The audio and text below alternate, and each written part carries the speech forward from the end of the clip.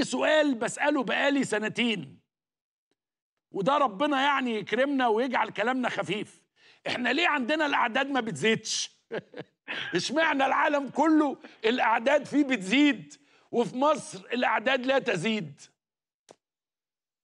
لو لو عايز إجابة طبعا علمية ما تقدرش تقول إن في إجابة علمية على اللي أنت بتقوله ده ولكن يعني في جزء كبير منه إحنا راصدينه على المستوى الرسمي وفي على المستوى الغير رسمي، على المستوى الرسمي إحنا عندنا الأعداد الحمد لله يعني منضبطة جدا، أنا بكلمك على الأعداد اللي هي بتخش مستشفيات أو اللي. أو اللي بتلجأ إلى المعامل المركزية أو المعامل المرجعية لوزارة التعليم العالي أو وزارة الصحة عشان أو حتى على مستوى ال- ال- القطاع الخاص اللي هي بتبقى عايزة تطمئن أو أو شاكه في في- حاليا الأعداد اللي موجودة في البيوت أكتر من الموجودة في المستشفيات.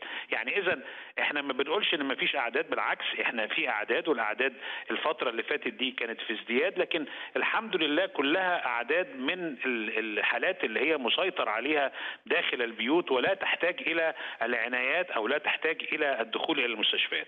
وده بالأرقام الحقيقة يعني إحنا من خلال متابعتنا على المستوى المستشفيات الجمهورية بالكامل إحنا بنتكلم على 10% من الأسرة العادية مشغولة بنتكلم على 43% على رعاية مركزة مشغولة بنتكلم على 27% من أجهزة التنفس الصناعي مشغولة. ده معناه إن إحنا في الحدود الآمنة لما نتكلم على القطاع الصحي على مستوى الجمهورية وقدرته على التعامل مع المتغير سواء أوميكرون أو دلتا أو أي شيء. لكن هل ده معناه إن مفيش حالات إحنا بنسمع عنها حتى على مستوى ال- ال- العائلي أو المستوى ال- الاجتماعي لا بنسمع عن حالات لكن كلها بتبقى قليلة أو متوسطة إلى ضعيفة وبتبقى مسيطر عليها عن طريق الأدوية في البيت بشكل آه، كويس جدا.